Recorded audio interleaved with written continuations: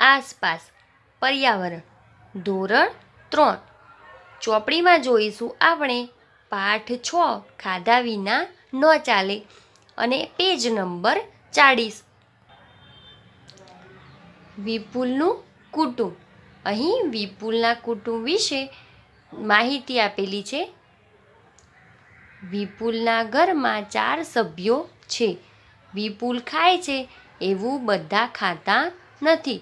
શું તમે એવું વિચારો છો કે વિપુલ જમે છે? એવું જ ઘરના બીજા લોકો જમતા નથી કે જમી શકતા નથી. એટલે કે જેવું વિપુલ જમે છે, એના ઘરના બીજા લોકો તેવું જમતા નથી કે એવું જમી શકતા નથી.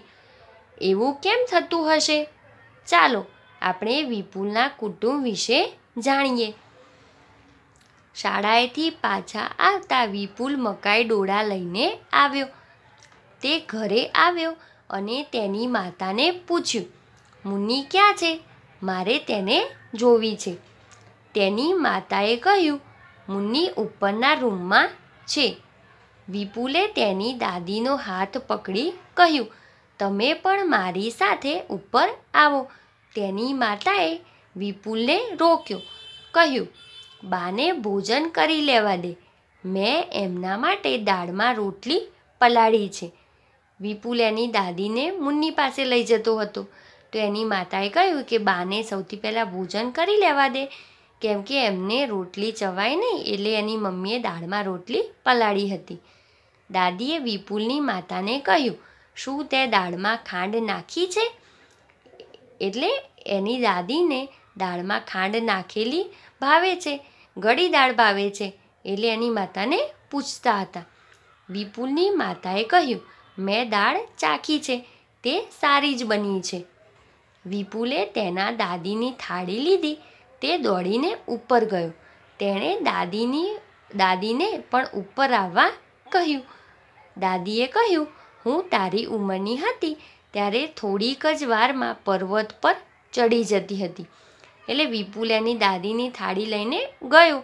એમ કે દાદી પણ પાછળ આવશે. તો દાદીએ કહ્યું કે હું તારી ઉંમરની હતી ત્યારે થોડીક જ વારમાં પર્વત પર ચડી જતી હતી, એટલે કે ઝડપથી ચાલી શકતા હતા. વિપુલ મકાઈ ડોળા ખાતો હતો. તેણે તેના મમ્મીને મકાઈ આપી. વિપુલે હાથ ધોઈ લીધા, પછી નાની મુન્નીને ઉચકી.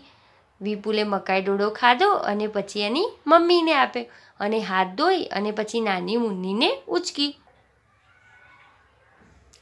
અચાનક મુન્ની રડવા લાગી. મામીએ કહ્યું, તે ભૂખી થઈ છે. મા મુન્નીને ખવડાવવા નીચે બેઠી. હવે અહીં વિપુલના કુટુંબની માહિતી આપેલી છે અને નીચે થોડા પ્રશ્નો આપેલા છે. વિચારો અને લખો. સૌથી પહેલો પ્રશ્ન છે, દાદી કેમ જલ્દી દાદર ચડી શકતા નથી? તો દાદી ગરડા હોવાથી અશક્ત છે. તેથી તેઓ જલ્દીથી દાદર ચડી શકતા નથી. દાદીને કેવી દાળ પસંદ છે? તો દાદીને ખાંડ નાખેલી દાળ પસંદ છે, એટલે કે તેમને ગળી દાળ ભાવે છે. તમને કેવી દાળ ભાવે છે? તો બાળકો, તમારે અહીં તમને જેવી દાળ ભાવે તે અહીં લખવાનું છે. તમને મીઠી દાળ ભાવે કે તમને ખાટી દાળ ભાવે કે તમને ખટમીઠી દાળ ભાવે? એ તમારે તમને જેવી દાળ ભાવે એ તમારે અહીં લખવાનું છે. પેજ નંબર પર જોઈશું. એકતાળીસ, એમાં પણ પ્રશ્નો આપેલા છે. તો જોઈએ, વાર્તામાંના કેટલા સભ્યો મકાઈ ડોડા ખાઈ શકે છે? કેમ? તો વાર્તામાંના ત્રણ સભ્યો મકાઈ ડોડા ખાઈ શકે છે. વિપુલ, તેની મમ્મી અને મામી. આ ત્રણ મકાઈ ડોળા ખાઈ શકે છે. કેમ કે તેમના દાંત સ્વસ્થ અને મજબૂત છે. આગળનો પ્રશ્ન છે, શું ગરડા લોકો મકાઈ ડોળા ખાઈ શકે? કેમ? તો ના, ગરડા લોકો મકાઈ ડોળા ન ખાઈ શકે. કેમ કે તેમના દાંત પડી ગયા હોય અને થોડા દાંત હોય તો તે નબળા હોય. તેથી તેઓ મકાઈ ડોળા ખાઈ શકે નહીં. ચાર મહિનાની મુન્ની તેના માતાના દૂધ પર રહે છે. એ તેનો એકમાત્ર ખોરાક કેમ હશે?